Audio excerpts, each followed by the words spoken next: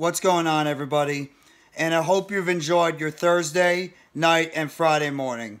This is NYG Jeffy T85 here, and I'm bringing you the BKN game recap for the Brooklyn Nets as they travel down to Phoenix to take on the Phoenix Suns tonight on TNT. And the Nets, you're going to look at the final score and you're going to think, hey, this is actually not that uh this was actually a very competitive game. You watched the fourth quarter. It actually was a back and forth game between the Suns and the Nets. Both teams missing some key players. Phoenix was playing without Cam Payne, but especially they were playing without Devin Booker and Chris Paul, all those guys out with injury. And the Nets were without Kevin Durant. And the Nets Nets are now in a big time Nets are on a losing streak now. They've lost four in a row. And they have now fallen to the Phoenix Suns tonight by the final score of 117 to 112. Nets are now 27 and 17 on the season. They've lost four in a row. They're sliding. Their confidence is not where it was before. And this is uh this has been bad. And you're going to look at the score and think this was actually a highly competitive game throughout. Guess what? It wasn't. This was not a highly competitive game at all for most of it. The Nets were trailing at one point in this game by 24 points in the third quarter. Kyrie Irving scored 30 points. But guess what? Kyrie Irving was miserable shooting from the field. He did not start getting going until the fourth quarter when he scored about 18 points of his 30. We're in the fourth quarter. Irving was doing nothing for the Nets for pretty much this entire game. He really started to just catch fire in that fourth quarter for the Nets. But he shot 11 of 27.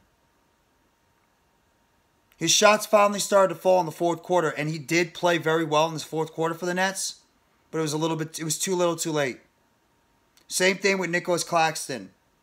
Claxton also played a lot better in the fourth quarter. In fact, I will say Claxton and Irving led the charge for the Nets in that fourth quarter overall. Both of them. They really helped lead the charge and bring this Nets team back in the game. But like I said, too little, too late. The Nets rebounding against the Phoenix Suns tonight was horrendous. The rebounding actually looks a lot better now. But the Nets got out rebounded by 15. DeAndre Ayton was doing whatever the hell he wanted in most of this game. Ayton had 24 points and 14 rebounds. Miles Bridges also did whatever he wanted on the court. He had 28. And Cam Johnson, his first game back, scored 19 off the bench. And Saben Lee. Saben Lee also had a big game. He also played well for the Phoenix Suns. He had 15 off the bench. Damion Lee had 16 in the starting lineup.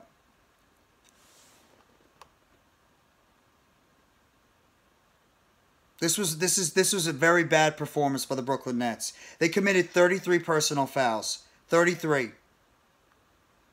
How the hell can you win a basketball game if A, you're getting out rebounded by 15, B, you're giving up 33 33 personal fouls. And see, you trail by 24 points in the third quarter. And you have to literally make an insurmountable comeback to at least make this game look even a little bit better. I really had the confidence in this basketball team and said this basketball team could still play well and stay above float with Kevin Durant out. That this team is in better condition and better shape compared to last year when Durant went out for a season for for a month and a half to two months with that MCL sprain in his left knee. Now he's gotten his right knee. And guess what? Right now, it's just it's wrong. I've been dead wrong. This team is just they they they've, it's like they've lost their mojo on the court.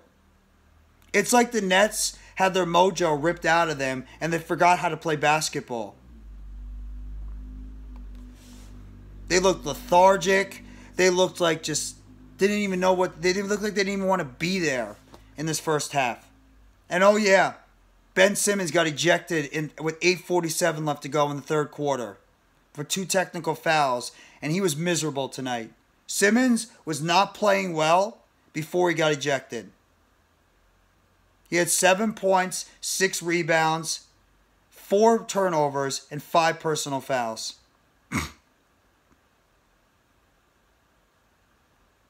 if this is what you're going to get from Ben Simmons, you might as well just try to sell him off at the trade deadline.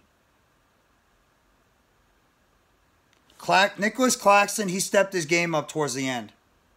He had 20 points and 11 rebounds with 3 assists and 3 block shots and 1 steal in 35 minutes, 9 to 12 from the field, but let's just be real.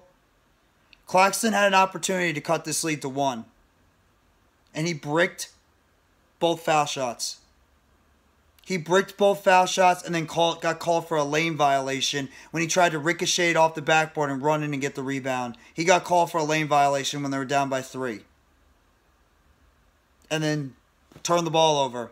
In fact, the Nets were trailing by five at one point. They had multiple opportunities, three straight possessions where the Nets had a chance to be able to get that lead down to three or maybe even two, and they turned the ball over three straight times.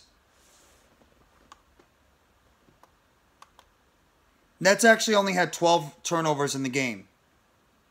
12. Phoenix actually had more turnovers than the Nets. But the Nets turned the ball over at the worst time.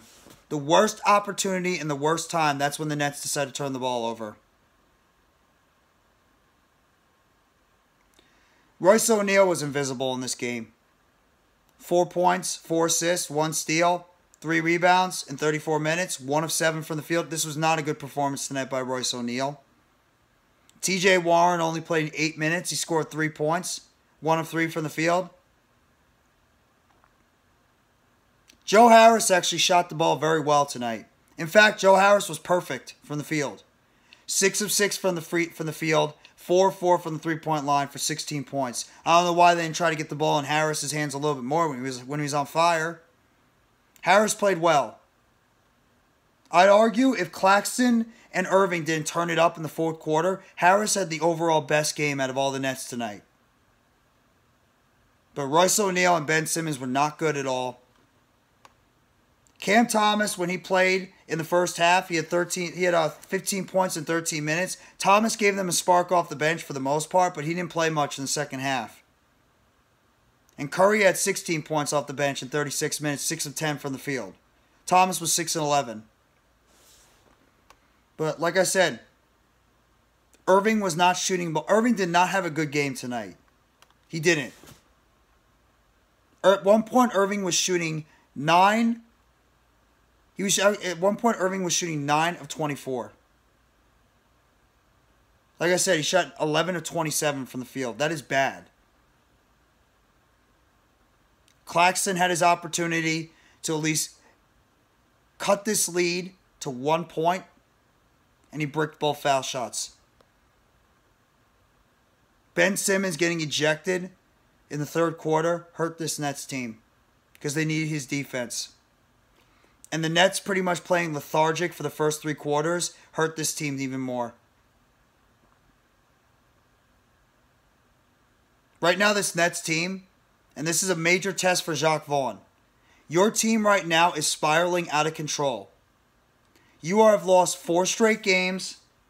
You're dropping in the standings. You are already coming into this game in the fourth spot in the Eastern Conference. Now you look like you're about to drop to the fifth spot. Four games lost in a row.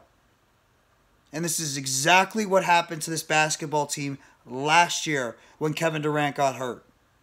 This team spiraled out of control, and this team couldn't get it together. And then they ended up getting all the way down to the play-in game and then they ended up getting bounced in the first round by the Boston Celtics. It is clear as day right now this Nets team needs help in the front court. If Claxton is not doing anything in the front court, whether it's blocking shots or rebounding, the Nets have absolutely zero front court presence.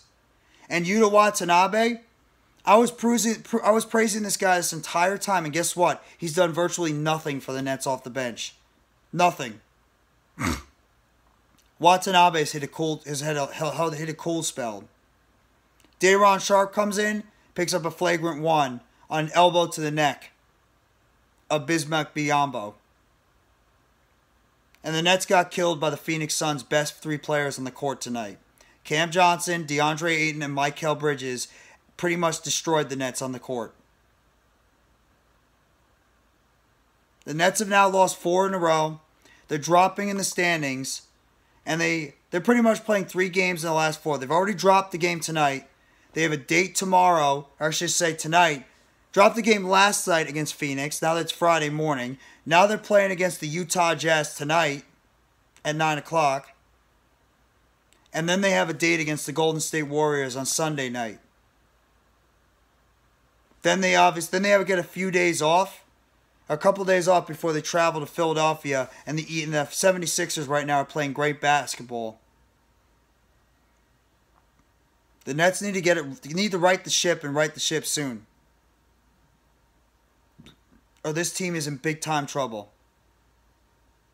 Big time trouble. So we'll see what's going to happen. But right now, this Nets team looks like garbage. And they better start turning it around or it's going to get ugly. The you know what is going to get ugly with this basketball team. So this is your BKN game recap for the Nets. They fall to the Phoenix Suns tonight by the final score of 117 to 112. They've lost four straight now, and they travel to Utah tonight looking to break a four game losing streak. And the Nets have now dropped to fourth in the seed and looks like they could drop to fifth.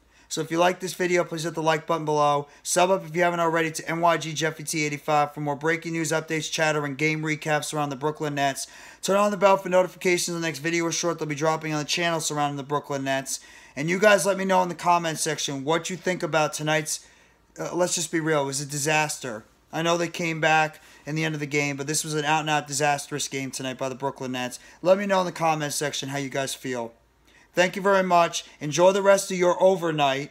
Take it easy and let's go, Brooklyn Nets. As always, it's a Nets world and we all just live in it.